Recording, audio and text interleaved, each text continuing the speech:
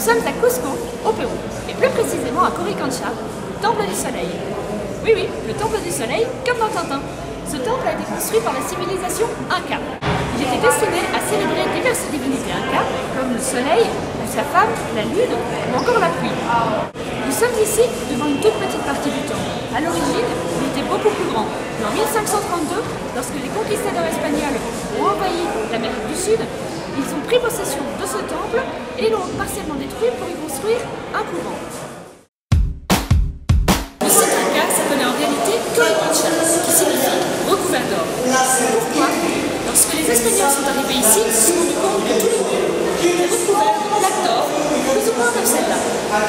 L'or était en fait destiné uniquement à l'ornement, à orner les temples et à célébrer les dieux. Il n'avait aucune autre valeur.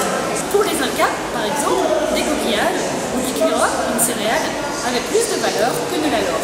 Par contre, pour les Espagnols, l'or était beaucoup plus précieux.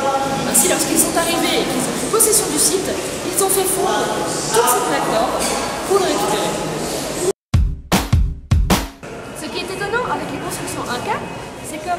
Ne retrouve pas de jointure. Les pierres ne sont pas attachées par du ciment par exemple. Mais par contre, à l'intérieur, il va y avoir des trous qui vont s'assembler ensemble et vont permettre à la construction de tenir. Également, ces constructions Inca étaient antisismiques, c'est-à-dire qu'elles pouvaient résister aux tremblements de terre, et il y en a beaucoup dans cette région. Sur les murs latéraux de cette partie du temple, il y a des trous qui communiquent les uns avec les autres. Pourquoi? Lors du solstice d'été, le jour le plus long, le soleil entrait à travers l'ensemble de ces petites fenêtres. C'était le moment pour les Incas de savoir qu'il était temps de semer la récolte. De la même manière, lors du solstice le jour le plus court, c'était le moment de récolter.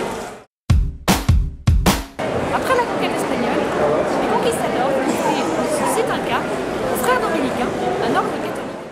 L'ancien temple sera alors presque entièrement détruit pour y construire un couvent qui est toujours utilisé aujourd'hui.